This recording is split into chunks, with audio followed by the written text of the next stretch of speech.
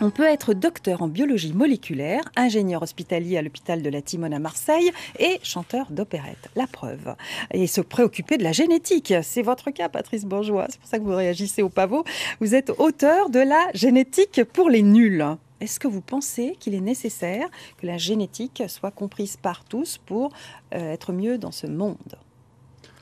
Alors c'est pas que je pense que c'est nécessaire, c'est que c'est nécessaire en fait. Et on a toujours, enfin la génétique c'est un mot qui fait peur. On trouve que c'est une matière austère, aride, qui effraie tout le monde, qui effraie tout le monde. Mm. Mais en fait, il y a des bases qui sont assez simples à comprendre et qu'il faut absolument faire comprendre pour décrypter les enjeux actuels du monde. Et puis comprendre aussi ce qui nous entoure. Hein. Je parlais des oreilles de souris qui repoussent, des, trucs bizarres. Euh, on, va, on, va, on va détailler la génétique pour les nuls. Donc euh, c'est un ouvrage de vulgarisation et pas seulement. C'est-à-dire qu'il y a des choses à la fois complexes si on a envie de se perfectionner sur la génétique, mais aussi on peut s'amuser. Tout à fait. Alors la base de la collection pour les nuls, c'est organisé autour de ça, la, dichotomie entre ce qui est très difficile, ce qui est complexe et qui peut servir pour des étudiants.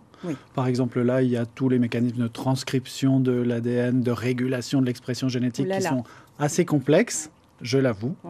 Et il y a aussi toute une partie qui est basée sur les anecdotes et qui doit être euh, lisible par le grand public. Et ça, ça fait partie du cahier des charges quand on travaille sur euh, un volume comme ça. Mmh. Alors déjà, en deux mots, c'est quoi l'ADN Qui est la base de la génétique.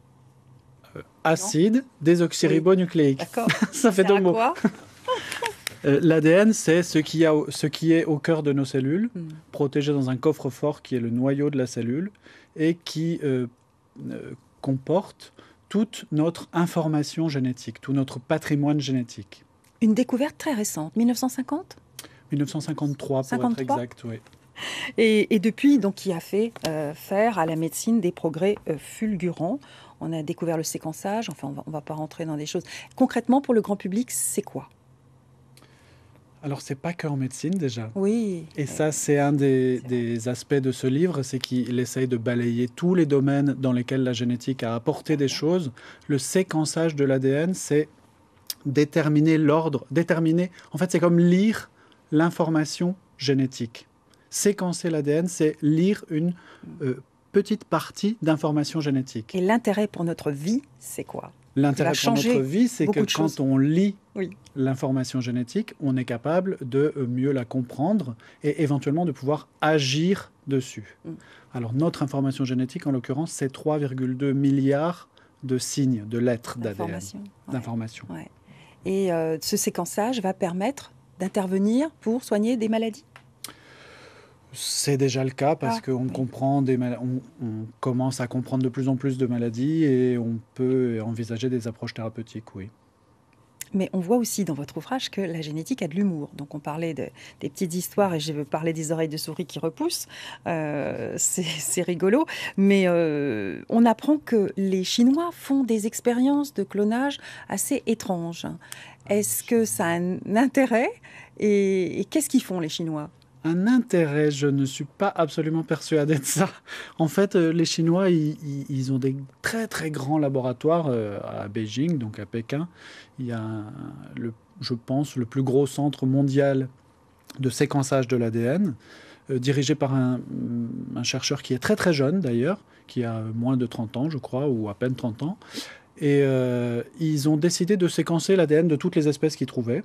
Et ils ont décidé de cloner euh, toutes les espèces qu'ils pouvaient cloner. Donc, par mm. exemple, ils se sont lancés dans le clonage des cochons mm. en pagaille. Mm. Et ils font 500 clones de cochons par an. Dans quel but?